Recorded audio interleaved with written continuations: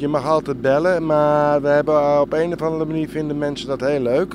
We hebben daar echt een eh, wachtlijst van mensen die het graag doen om met, ze uit, met de hondjes uit te gaan. En dat, ja, dat is goed. Het is, zijn niet alleen puppies, maar het zijn ook de oudere honden waar we dat mee doen. Die een verleden hebben. Daar trainen we eerst hiermee op het terrein. Daarna gaan ze naar dogpartners, waar we dus verder de basiscommando's gaan leren. En daarna gaan we de stad in met ze. En met ze wandelen, ijsje eten, lopen, laten aaien, laten ruiken. Dat is gewoon, ja, een must. Dat, want zo, zo bereid je ze echt goed voor. Dus dit, dit is een, een, een- net wat u zegt, een must voordat deze honden naar het buitenland worden gestuurd. Ja.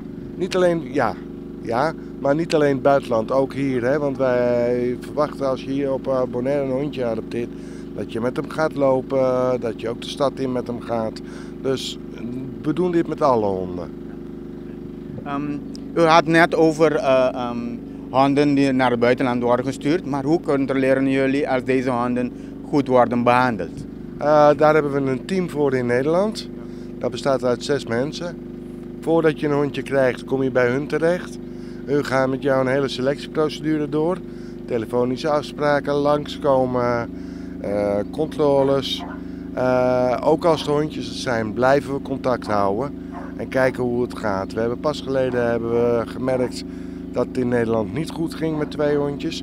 Die hebben we dan ook alle minuut weggehaald. En dat mogen we, want dat ligt contractueel vast. En daarmee werken we ook wel samen met uh, Dierenbescherming Nederland en andere instanties, zodat we dat kunnen. Maar, um, het gaat goed, maar met honden naar buitenland sturen. Want vandaag sturen jullie? Vandaag gaan we er zeven vliegen, dat is veel. Uh, die gaan naar uh, Nederland. Die worden opgevangen door FKK Nederland, dus onze mensen in Nederland. Die vangen ze op, die zitten met de gezinnen en die blijven ze ook weer volgen.